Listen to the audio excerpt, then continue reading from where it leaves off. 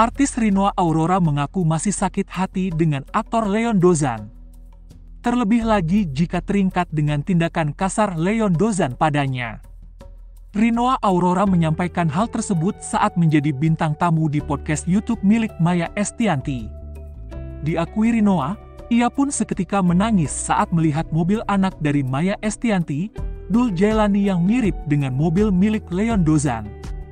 Hal itu karena ia langsung teringat perlakuan Leon Dozan saat di dalam mobil tersebut. Dikatakan Rinoa, ia banyak terbentur di dalam mobil akibat perlakuan dari anak aktor lawas Willy Dozan itu. Lebih lanjut, Rinoa membeberkan rasa trauma hingga dampak yang ia alami setelah kasus dengan Leon mencuat ke publik. Rinoa menuturkan dirinya pasti akan menangis jika diminta untuk menceritakan kejadian yang dialaminya. Selain itu, buntut kasus yang dialami Rinoa juga berimbas ke sikap teman-temannya.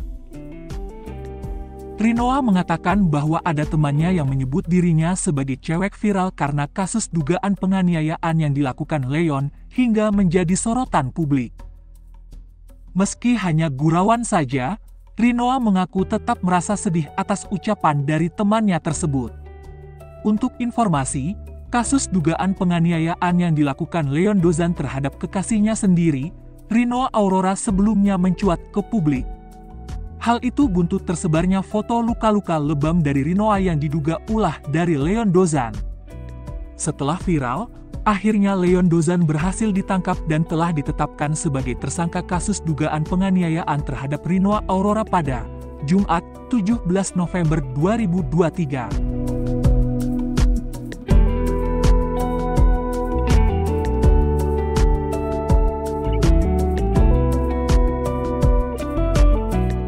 Download Tribun X sekarang. Menghadirkan lokal menjadi Indonesia.